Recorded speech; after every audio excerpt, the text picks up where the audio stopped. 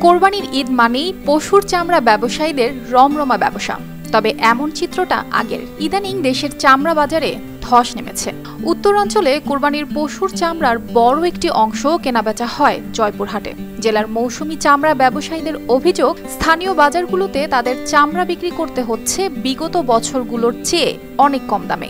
এত কম দামেও সবটা বিক্রি না হওয়ায় মাটিতে চামড়া পড়ে থাকতে দেখা যায়। বাজারে এমন দুরবস্থায় দিশেহারা মৌসুমি ব্যবসায়ীরা।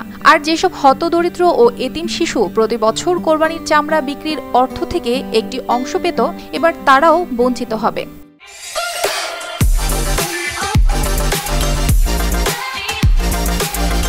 আমি পঁচিশ টাকা পিস খাসির চামড়া কিনছি।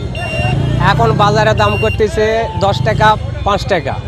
গরুর চামড়া কিনা আছে আমার পাঁচশো পঞ্চাশ টাকা। এখন দাম করতেছে আমার তিনশো টাকা, সাড়ে তিনশো টাকা।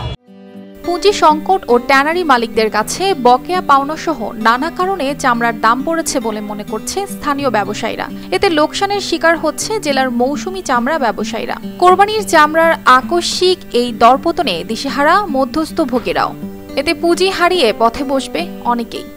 গত বছর যে পরিমাণ চামড়া আসছিল এই আড়তে সেই পরিমাণ চামড়া আসতেছে না। আর চামড়া মূলত মানুষ মূলত দান খরাত করতেছে ওই সংস্থাতে দাদা সংস্থাতে এই তারপরে সেইখান থেকে চামড়াগুলো আসতেছে।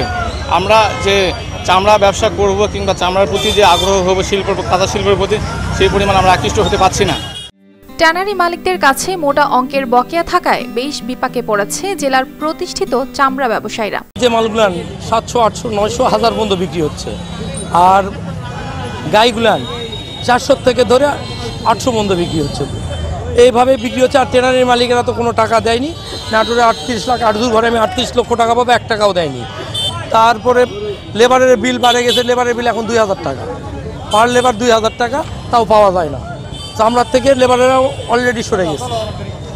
ট্যানারি মালিকদের কাছে জয়পুরহাটের চামড়া ব্যবসায়ীদের পাওনা প্রায় শত কোটি টাকা। দীর্ঘদিন পার হলেও বকেয়া টাকা না পাওয়ায় পুঁজি হারিয়ে পথে বসেছে জেলার অনেক ব্যবসায়ী। তাই চামড়া শিল্প রক্ষায় এর ন্যায্য মূল্য নির্ধারণের দাবি সংশ্লিষ্টদের।